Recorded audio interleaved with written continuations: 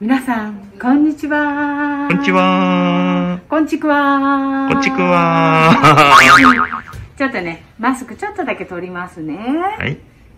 今日はね、なんと、杉浦先生の歩行を私がやっております。イェイ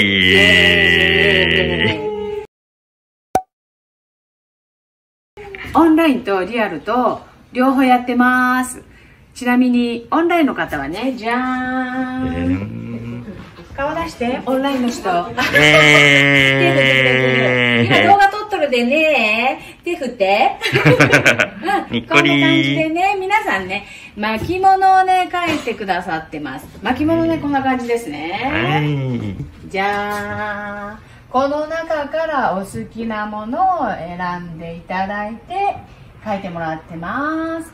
そして、リアルの方は、じゃんじゃん。ただいま午前中でありますが、頑張ってまーす。いろいろね、えー、と巻物を書いてくださってる方もいれば33観音の方もいらっしゃりお英子ちゃんは地図を書いてますおねー。まきまきちゃんはメニューメニュー。じゃー。んおすげかっこー。いい。ね。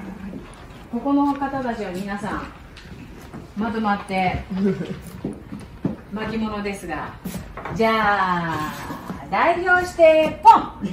一言カメラに向かって何か言って。もの楽しいです。あ、いいですね。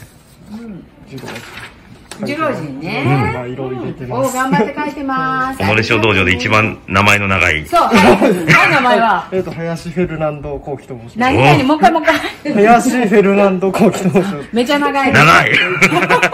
ありがとう頑張って頑張ってください。はいはい、はい。私です袖ママ。あママね本日あのここ袖の一家でやってまいりました。よろしくおお願いしすます。ごいねありがとうここは親子なんですが、一応定石今回取らせていただきましてありがとうございます。おー。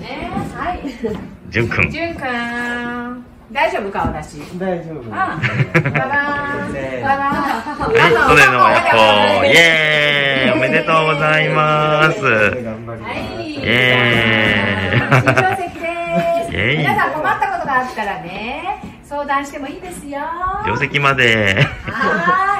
じゃあはい皆さんね、引き続き頑張って書いてくださいよ。はでここはけいこさんチームね。はい。はい。チームカントラ頑張ってまーす。はい。はい。いいかな？こんな感じで今日も頑張ってまーイイエーイまたね